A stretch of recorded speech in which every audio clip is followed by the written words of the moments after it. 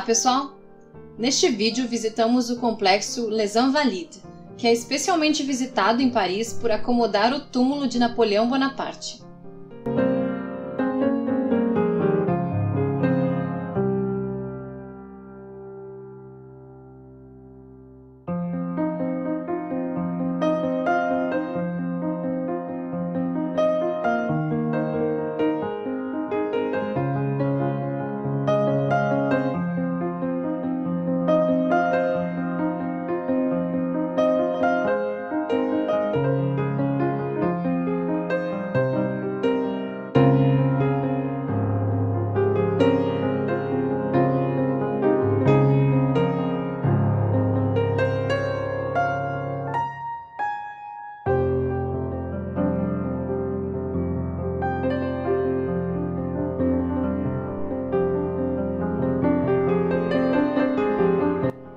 O Hotel des Invalides foi construído a mando de Luís XIV, o Rei Sol, entre 1671 e 1676, para abrigar veteranos de guerra feridos ou sem moradia.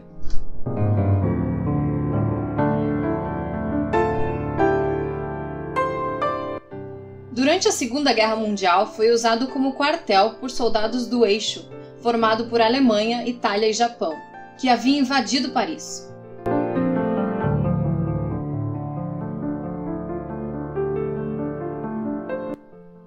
Após a Segunda Guerra Mundial, o espaço novamente recepcionou veteranos feridos.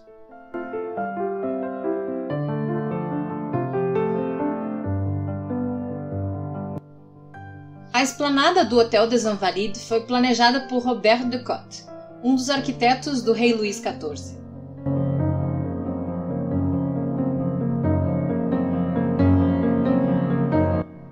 Chama atenção nesse espaço a linda jardinagem e canhões de bronze dos séculos 17 e 18.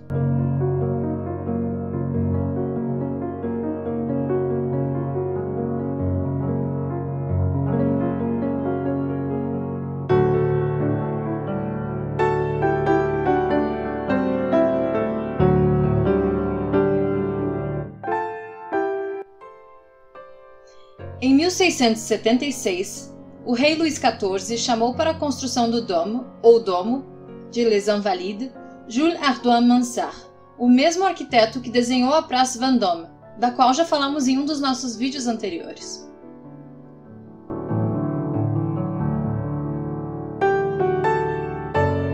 Em 1789, durante a Revolução Francesa, o Hotel des Invalides foi invadido por revolucionários buscando armas e canhões que foram usados na queda da Bastilha. Em 1800, Napoleão decidiu transformar o Hotel des Invalides em panteão de glórias militares. Hoje, sua cúpula dourada chama a atenção de qualquer ponto alto de Paris, construída em homenagem ao Rei Sol, e pode inclusive ser vista do topo da Torre Eiffel, como já mostramos aqui no canal.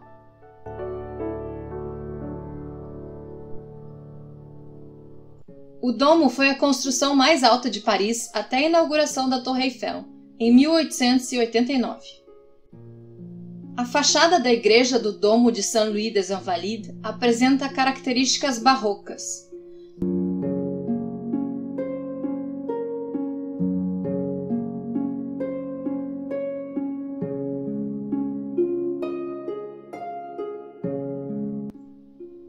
No centro dessa igreja é possível observar o teto com a pintura circular Glória do Paraíso, de 1692, elaborada por Charles de la Fosse. Nesse domo estão os restos mortais de Napoleão, que foram transferidos para Les Invalides em 1840, provenientes de Santa Helena, uma ilha isolada no Atlântico Sul, onde Napoleão passou seus últimos anos de vida. Nesse território britânico ultramarino, Napoleão passou seus últimos seis anos exilado até falecer em 1821, vítima de câncer no estômago aos 51 anos.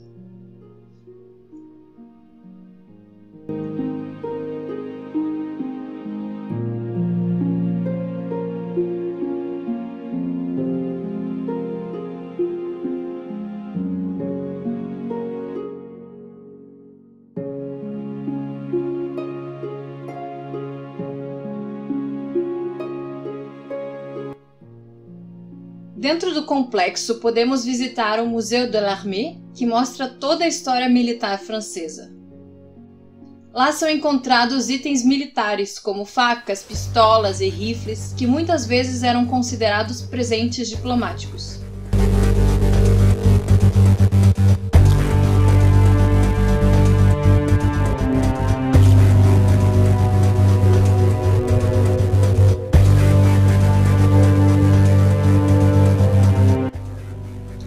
Também são vistos os famosos bacinets, capacetes militares medievais, assim como trajes cerimoniais, armaduras, peças de artilharia e quadros que retratam batalhas com a participação do exército francês.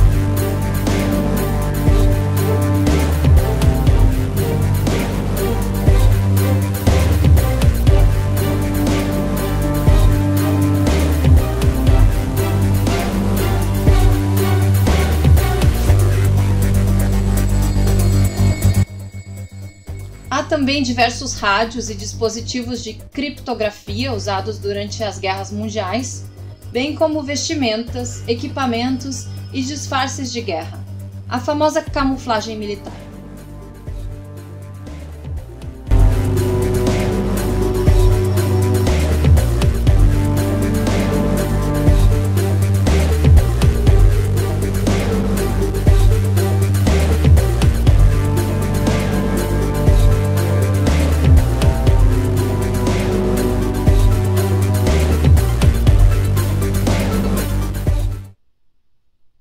Complexo de Les Invalides, podemos visitar a Catedral de Saint-Louis des Invalides, que é a Igreja dos Soldados.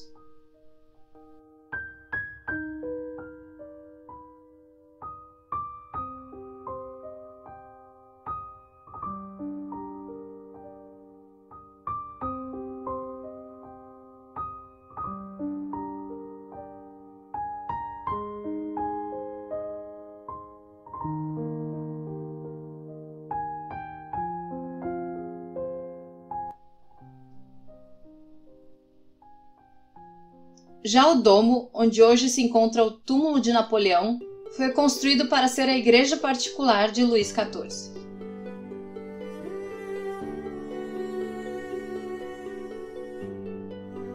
É impressionante a dimensão avantajada do túmulo, que representa a vida célebre e treslocada de Napoleão. Sua tumba foi concebida pelo arquiteto Louis Visconti e fica no centro da cripta de Les Invalides, logo abaixo do teto de vidro do domo.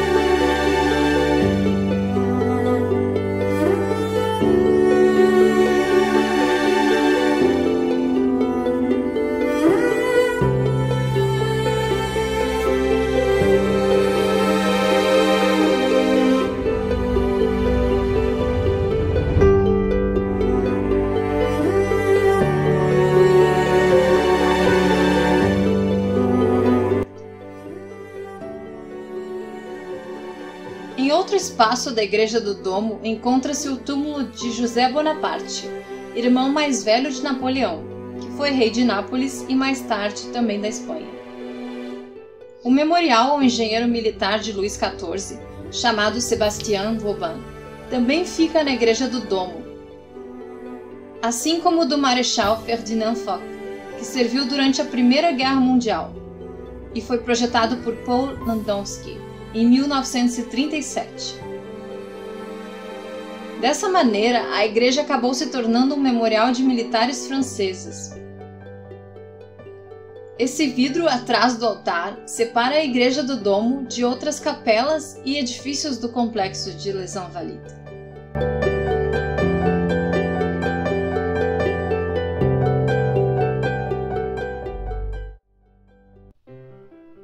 Depois desse passeio cheio de história, seguimos nossa caminhada por Paris e optamos por um almoço tardio no maravilhoso restaurante Il Sorrentino. De entrada, fomos de berinjela gratinada e, como pratos principais, escolhemos espaguete com mexilhões e ravioli de espinafre recheado com queijo gruyère.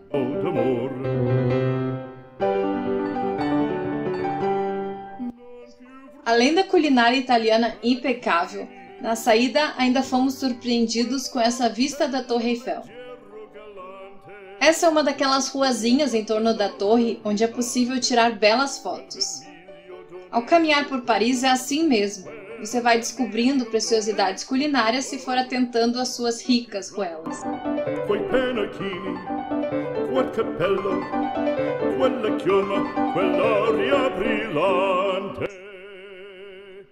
Pessoal, não deixem de se inscrever no canal, curtam e compartilhem este vídeo. E como dizem os franceses, au revoir! Belle riposo, ma ci